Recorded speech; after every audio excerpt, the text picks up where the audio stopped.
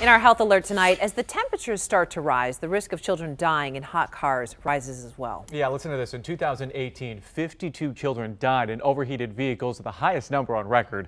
Today, we're exploring what's going on. Our chief health editor, Dr. Partha Nandi, is live tonight in the parking lot. So, Doc, if you're just running a quick errand, what's the longest amount of time you can safely leave a child in a car? Really quick answer, Alan. There really is no safe time that you should leave a child in the car.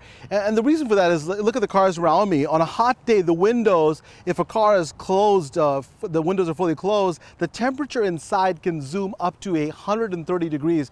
And even when the temperature is really not that high, 60 to 75 degrees outside, what can happen inside the car, especially if the sun is shining, it can get really, really hot. So that's why I think that, you know, there's really not a safe amount of time to leave your child in the the car.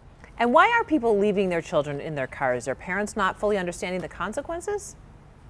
Right, Heather's like, what's going on? How come people don't get it? Well, I think it's a number of factors. The first one is that people don't realize that the little people, kids, actually are more at risk than adults. And there are a number of factors for that. Number one, you know, their little bodies actually get heat, heated up even three to five times faster than ours do.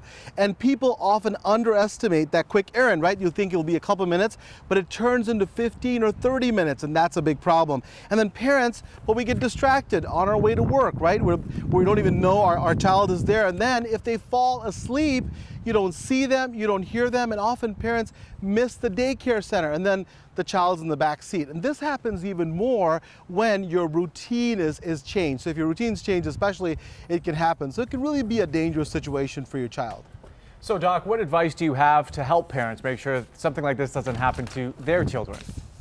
Yeah, bottom line, Alan, is that make sure that you look in the back seat. So if you need to put your cell phone in there, you got to put your purse in there, your briefcase, something that makes you look in the back seat. And I would do it even when your child's not there so that you have that as a routine, as a practice.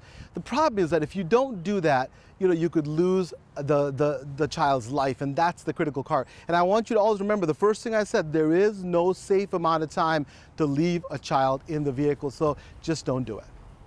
Not even for a minute. All right, thanks. Great advice, Doc. And if you have a question or a health concern for the doctor, you can email him, Dr. Nandi, at askdrnandi.com or send it to us on Facebook or Twitter. And don't forget to tune in this Saturday at 5 p.m. for an all-new episode of The Dr. Nandi Show.